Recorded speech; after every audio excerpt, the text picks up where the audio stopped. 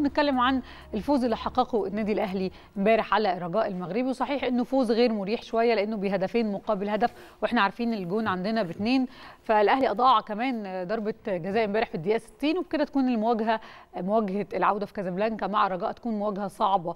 جدا على الفريق. طبعا هنا وسط الجمهور الموضوع بيكون مختلف. علشان كده كان نفسنا إن إحنا نستغل المباراة بنتيجة أفضل من كده. لكن على كل حال مبروك للاعبي النادي الأهلي وإن شاء الله نركز أكتر في اللي جاي. إحنا هنتكلم عن اللقاء بكل يعني التفاصيل. معنا في الاستوديو الناقد الرياضي محمد عفيفي. صباح الخير عليك يا محمد. ورمضان كريم كل سنة وأنت طيب. صباح الخير هدير هانم صباح الخير أستاذ أحمد. صباح الخير على كل مشاهدي صباح الخير يا مصر أينما كانوا. وكل عام وأخواتنا المسيحيين بألف خير. ويا رب رمضان كريم على الجميع.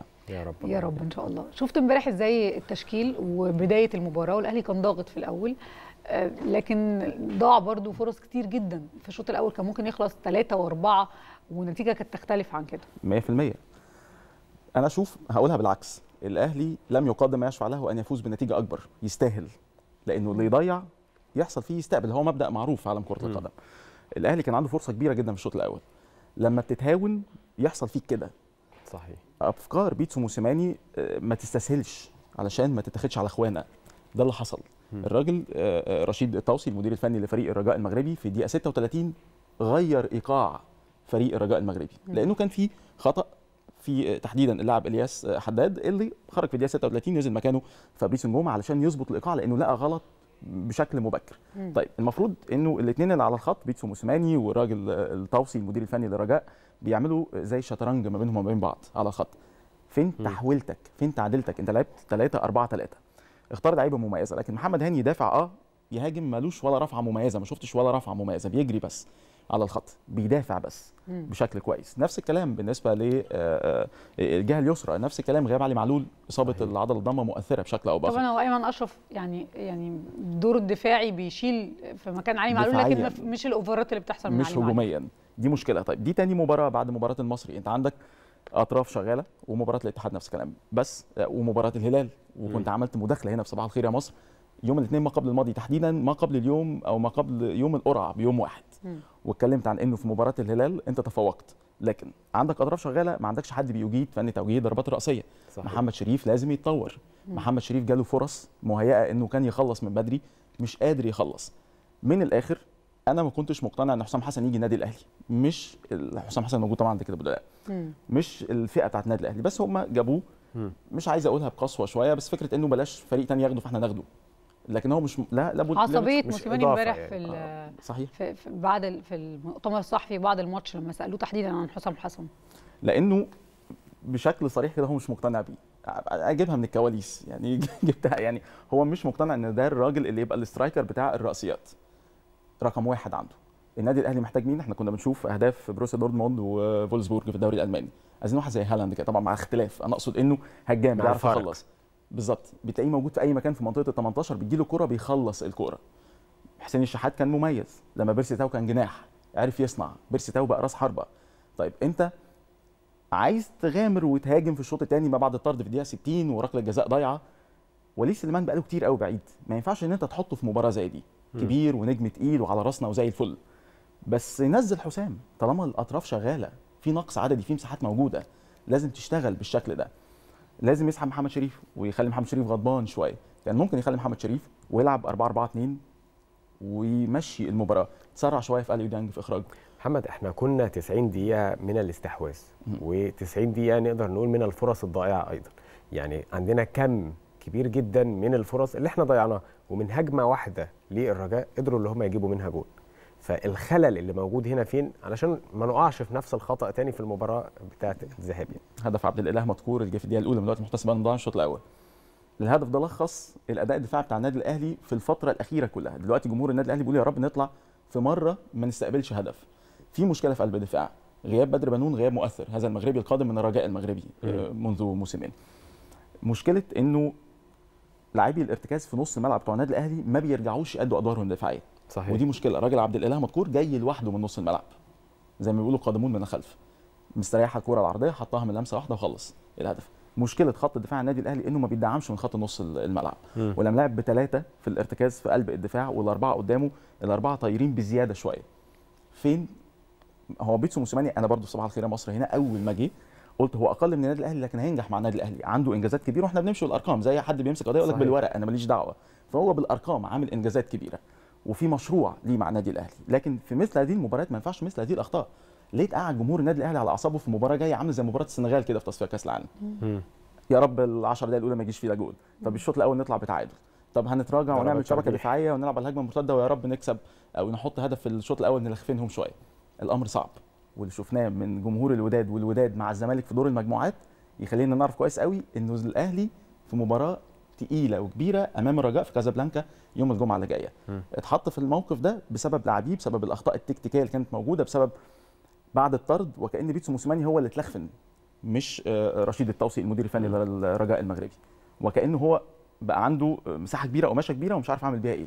بس إحنا امبارح شفنا آه، الرجاء فرقة آه، جماعية فرقة بتلعب لعب جماعي بشكل عام يعني بس ما زالت عندها مشكلة في غياب ال back left 100% فممكن نلعب على دي يعني دي تكون ثغرة لينا اللي إحنا نقدر اللي إحنا برضو ولذلك أنا ذكرت محمد هاني إنه بيدافع آه بس ما بيهاجمش. طب أنت عندك فرصة كبيرة قوي من ناحية اليمين. وحتى لما نزلت قفشة متاخر طيب خلاص أنت كان ممكن تلعب 4 2 3 1 وتخلي قفشة كصانع ألعاب من البداية هيديك حلول أكبر هجوميه أحمد عبد القادر ليه كل التحيه في بعض اللاعبين أحمد عبد القادر بقى على وجه التحديد لاعب متكامل يمكن لاعب من اللعيبة اللي كانت من الطراز القديم يعني. أعتقد إنه إحنا قدام لاعب آه، يعني آه، تقيل. بشكل متكامل يعني. أعتقد الناس كلها امبارح كانت بتتكلم عنه في الماتش. طيب أنا هاخدها برضو بالعكس شوية بلاش نفخم بزيادة لأن اللعيبة بتاعتنا يعني محتاجة إن هي تبقى إيه على هادي شوية. أحمد عبد القادر رائع يبقى متكامل مع التقل.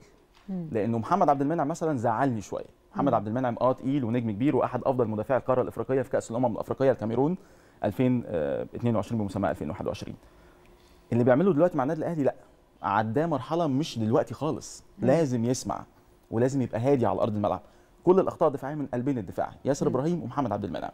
مشكلة كوارث أخطاء بالجملة تباعد وقفه غلط بتبص على الكورة ما تبصش على اللعيب اللي جاي مع أخطاء نص الملعب فأنت بتستقبل دي صحيح. مشكلة النادي الأهلي وحتى آه، يمكن والله حصل تغيير. أنا كنت بتفرج المباراة دي تحديدا بتفرج مع والدتي والله. أول ما شال محمد عبد المنعم بيسو مساوي طلع على فكره الأهلي ممكن يخطف ال- يتخطف في الهدف الثاني. وكان في انفراد. وشالها الشناوي. صحيح. ما هو آه، واحد زائد واحد بيساوي اثنين التحليل الفني ببساطة ممكن أنت تقدر تنفذه لو أنت بتسيطر مش تقعد تبص للبنش وتقول له أنا مش باجي على بيتسو موسيماني بالمناسبة. بس مش كل شوية تقول لهم أنا كنت المفروض يعمل كده المفروض يعمل كده. أنت سيطر أنت زعق أنت اتكلم. من على الخط. لأنه جالك فرصة كبيرة قوي ما قدرتش إن أنت تخلص. والفريق الكبير ما ينفعش يخلص مثل هذه طيب الفرص. يمكن آه، هدير سألت آه، سؤال وكان سؤال مهم آه، خاص برد فعل موسيماني في المؤتمر الصحفي. حللت أداؤه إزاي؟ آه رد فعله لأنه شاف إنه لا تنفذ اللي في دماغه ولا استغل الفرص ولا اللاعبين ادوا له اللي هم عايزه اللي هو عايزه. فحس إنه في حاجة غلط مش مالك الأمور ولذلك اتنرفز اي حد فينا لما يبقى عمل كل حاجة وما طلعتش بالشكل المطلوب المرغوب فيه طب التغييرات كانت هي دي المطلوبة؟ يعني هو. لما طلع حسين الشحات ومحمد الشريف ونزل قفشة و... ونزل قفشة في الشوط الثاني وحمدي وطاهر فتحي كمان آه. في البدايه تغييرات أخبارها إيه؟ يعني إحنا كنا مستحوذين جامد الشوط الأولاني،. الشوط الثاني كان في حالة من التراجع والارتباك مش مفهوم طيب أليو ديانج ما كانش آه، يطلع من بدري كده يعني آه هو عنده إنذار وكل حاجة بس لا, لا لاعب برضه بيعرف يتعامل إنه ما بقاش فيه احتكاكات كبيرة بس صحيح. بيعرف يظبط الإيقاع في نص الملعب دي مشكلة من الآخر كده حمدي فتحي لما بينزل بديل ما بيضيفش كتير على لما بيبدأ المباراة بيبقى تقيل مم. ينزل بديل ما بيضيفش كتير زيه زي لاعبين كثر موجودين مم. في أندية كبيرة بيبقى زي آه، محمد مجدي قفشه لما نزل. امبارح ما أضافش كتير مم. مش لاقي نفسه طب أميل. يمين طب أبقى في النص ما هو زخم بقى ووليد سليمان نزل و... و... وناس كتيرة بيرسي تاو. قلتها برضو قبل كده. وأقولها تاني بيرسي تاو شوط واحد. ما تاخدش منه أكتر من شوط. بس يمكن كلام الناس كلها امبارح كان بعد الطرد أنت ليه ما هاجمتش؟ أنت طلعت لاعب مهاجم ونزلت صانع ألعاب. ففي علامات. استفهام كتير قوي هنا برضو في التغيير ده. فكر في الهجوم وغير تغييرات المفروض إنها تضيف للهجوم بس ما نزلش راس الحرب. يعني هو شال محمد شريف يلعب بال shadow striker. علشان يخطف زي ما خطف ال- الهلال كده بالهدف بتاع آه، آه، أحمد عبد القادر واللمسة وحسين شحات خلصها من لمسة واحدة والكلام ده. صحيح. ال شفتات اللي كانت بتحصل لكن بيرسي تاو اداله لا ما ادالوش لأنه جات له كوره قدام المرمى مش عارف مش عارف يعمل ال chip من أعلى الحارس. مم. طب أنت جايبينك من من إنجلترا من الدوري الإنجليزي يعني وأنت راجل جنوب أفريقي وبتاخد بالدولار علشان تضيع فرصة زي دي؟ لا. لف وسطك يا حبيبي. حط كوره بشكل صح. المباريات اللي زي دي هي اللي بتغلي سعر اللاعب أو. بتاخد اللاعب لتحت وناديه وجمهور الأهلي ما استحملش آه كسب؟ إحنا متضايقين شوية لأنه حاسين إن الفوز مش مطمئن لأنه آه مش مطمئن. مش مريح لأن المباراة اللي جاية يعني أجواءها. صعبة وإحنا عارفين يعني مباريات عامة شمال أفريقيا معانا بتكون عاملة إزاي وتكون صعبة علينا. صحيح. فكمان هناك الموضوع بيكون أصعب. وسط الجمهور وامبارح الجمهور يعني صوته ما كانش بيبطل طول الماتش. 100% فبالتأكيد كانت الفرصة هنا أكبر كتير. لأنه جات لك الفرص اللي مهيئة إن أنت تخلص كمان هدف واثنين وثلاثة وأربعة. وخمسة. وبالمناسبة بس في ناس كتير هتختلف معايا. ركلة الجزاء سليمة الأولى. ده كل الناس بتقول غير سليم. لا طيب. أنا أنا بص هشوفها من ناحية عشان بس أنا راجل. بعلق كتير وبتاع والنهارده عندي ومصري ومش مختلفة عارف إيه. وبتاع آه. الحاجات دي. آه شوفوا الكورة ال- ال- الألوان اللي عليها. هي خبطت في رجله. بعد ما خبطت في رجله هي إيده مفرودة فموسعة جسمه. شوف الألوان اللي عليها لفت إزاي بعد ما خبطت في إيده. في الكاميرا اللي موضحة للناس كلها إنه مم. دي لمست في رجله بس. علشان كده ما حدش اتكلم عشان. كده من اللعيب أصل الناس بتوع الرجاء لو عارفين كويس ما هتعدي جاتش. يعني. ما كانتش هتعدي. الكورة آه زاوية الحكم هو شايفها إنها آه آه الناس كلها شايفاها لمسة يد الزاوية. الثانية مش شايفاها لمسة يد. بعد ما خبطت في رجله شوفوا دوران الكورة طلعت. لأن خبطت في رجله هترجع تاني. للراجل اللي كان ممرر من ناحية الشمال بتاع الأهلي. لكن هي خبطت كده وطلعت كده وراحت لضربة ركنية. صحيح. فهي لمست في إيده إيده مكبرة جسمه. حد يقول لك أصلها قريبة وجت في جسمه؟ لا إيده مكبرة جسمه بشكل كبير. لأنها كان ممكن ترجع لاعب الأهلي وتبقى تتجدد هجمة واعدة. وكانت ركلة جزاء سليمة. دي وجهة نظري الشخصية. بمناسبة يعني ركلات الجزاء لأن السوليه عرفنا؟ جاب الأول الهدف بتاعه. كنت شايف إن هو كان هو اللي المفروض يلعب الضربة الثانية 100% اللي لا. ضيعها هو 100% موسيماني ضغط عليه عشان يلعبهم الاثنين طيب هو هو رقم واحد بعد علي معلول. وعلي معلول مش موجود. مش موجود. ومحمد شريف المفروض رقم ثلاثة عندك محمد شريف هو ضيع الفرصه كان يا ريت كان خلصها و... وكده لأن. الطرد إحنا ما استفدناش بيه وكان لازم محمد شريف على فكرة كان مهم قوي يجيب هدف المباراة دي يكسب مم. الثقة أكتر. لكن هي مم. الكره رجعت وجه طرد وهكذا يعني. المفروض انه السوليه حط الأولى وكان الحارس هيجيبها والحارس عامل scouting على عمرو السوليه. بزوايا التسديد. لأن هم بيعملوا scouting على لاعبينا واحد اثنين ثلاثة أربعة خلاص خمسه عرف الزوايا بتاعته بالظبط عمرو السوليه من الآخر كده محتاج أسبوعين بره الكورة ليه بقى؟ لأنه مرهق ذهنيا بالتبعيه الأداء الفني. بايظ وفنيا آه، آه، أو بدنيا كمان مرهق طب كان في حالة إجهاد بدني على الفريق كله رغم إنهم مريحين بقالهم أسبوع آه، معظم لاعبين الدوليين مرهقين. ذهنيا ما قبل أمم أفريقيا مع النادي الأهلي وكأس عالم للأندية والنادي الأهلي مرة ثانية ثم منتخب ودلوقتي موجودين مع النادي الأهلي وما ينفعش يخرج بره. حتى لو راحه في البهامز أسبوعين. برضه هيفكر في الماتشات لأن الماتشات شغالة. لا ومهمة كمان. بالظبط. واللاعبين دول لاعبين محترفين المفروض إن هو يبقى فيه آه راحة لبعض الأيام بس المفروض إن هم يطلعوا يفكوا شوية. عمرو السوليه من أكتر الناس اللي أرهقت. وأنهكت ذهنيا. صعب إن تاخد من عمرو السوليه أكتر من كده. لا غنى عنه بس المفروض إن النادي الأهلي بيفكر في بطولة أفريقيا بيفكر في الدوري لازم يكون عنده البديل التقيل اللي يشيل. وأنا شايف انه حمدي فتحي ممكن ياخد أكتر كأساسي مع أليو ديانج ويخلي عمرو السوليه في راحة نسبية. عمرو طيب. السوليه لما- بيفصل من المباريات ما بيقعش يمكن آه، موسيماني والطاووسي رشيد الطاووسي الاثنين مدرسة واحدة. والاثنين يعني آه، يمكن قالها موسيماني في المؤتمر الصحفي ما قبل المباراة اللي هم اصدقاء صحيح. شايف هيتعاملوا إزاي في مباراة يوم الجمعة؟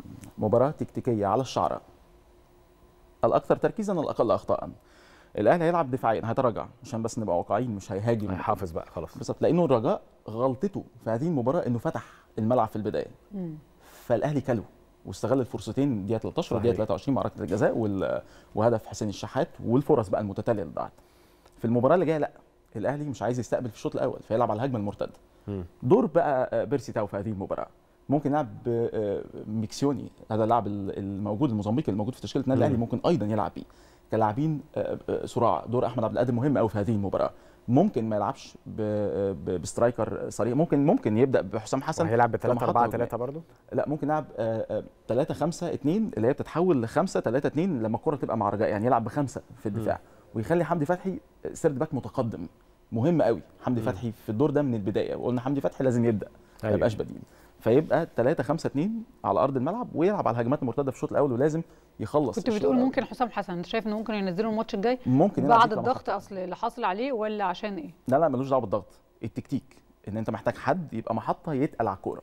ياخد المدافعين معاه ويبدأ يجمعهم عليه ويبدأ يسند الكورة واللي جاي طب من ما كان محتاجه الماتش اللي فات امبارح وما نزلوش. آه، أنا أنا أنا مستغرب ومش عارف ليه. أنا آه مش مقتنع بحسام حسن إن هو إن هو يبقى موجود أصلا في تشكيلة النادي الأهلي. مع احترامي ليه لاعب كبير وتقيل كان مع سموحة احترف في ليبيا زي الفل وواكل الكل وتمام ومن هدافي الدوري بالمناسبة كان الموسم الماضي. لكن مع النادي الأهلي لا. أنا شايف إن هو عامل زي حسام باولو كده لما كان جه الزمالك مثلا وكان من هدافي الدوري مع سموحة ومع الداخلية ومع ذلك ما قدمش شيء. حسام حسن مش بتاع النادي الأهلي. النادي الأهلي محتاج لاعب مميز بشكل مختلف ك striker زي فلافيو كده لما كنا بنتكلم آه، اللاعبين المؤثرين هجوميا. لكن النادي الأهلي ينقصه مهاجم تقيل ولذلك ما بيكونش من الخيارات الأولى حسام حسن لكن ممكن يدفع بيه في هذه المباراة علشان يجمع اللعب ويفرغ مساحات اللي جايين من على الأطراف إنه يبقى فيه سرعة أحمد عبد القادر لما ياخد معاه المدافعين حسام. أو ممكن شريف يعملها يقوم بهذا الدور. لكن شريف في الفترة اللي فاتت فقد الثقة إلى حد كبير وممكن ما يبتديش المباراة اللي جاية. في كل الأحوال لازم الأهلي يأمن دفاعه ونص ملعبه بشكل آمن قوي لأنه لو ما ضبطش الايقاع في نص الملعب واتخطف في البداية المباراة هتبقى صعبة جدا. فلازم شايف علي الأول- علي معلول ممكن يكون بيشارك في المباراة دي تحديدا اللي. موسيماني اتكلم عنه في المؤتمر الصحفي امبارح. بالتأكيد إصابة الضم خمسة أيام. أنا شايف إنه لو ما شوفيش بلاش لأن إصابة العضلة الضم مؤثرة قوي. وصعبة قوي عضلة مفصلية آه، آه، لو آه، شارك دون أن يتم شفائه بشكل تام ممكن الأهلي يفقده في مباريات مهمة متتالية لأنه إن شاء الله لو تأهل النادي الأهلي في ال semi-final وال final في شهر خمسة غير مباريات الدوري المتلاحقة ف- والأهلي كمان دلوقتي متعادل في عدد النقاط أو بفرق نقطة واحدة النادي الزمالك عنه والأهلي عنده مباراة مؤجلة بعد التعادل الأخير لنادي. الزمالك في كل الأحوال مباريات تقيلة وضغط كبير على النادي الأهلي أتمنى إن هو ما يقحمش علي معلول فيفقده في بقية الموسم لو ما تمش شفائه. لكن مؤثر مؤثر مؤثر بشكل كبير في المباراة اللي جاية لو آه، تم وجوده على أرض الملعب في تشكيل اساسي كل التوفيق إن شاء الله للنادي الأهلي ونستمتع بالمباراة يوم الجمعة. محمد بنشكرك شكرا جزيلا الناقد الرياضي محمد عفيف إن أنت كنت معانا النهارده في صباح الخير ودايما معانا كده وتمتعنا بالنقد الرياضي دايما بنستناه أشكركم جدا. نورتنا يا محمد شكرا ليك.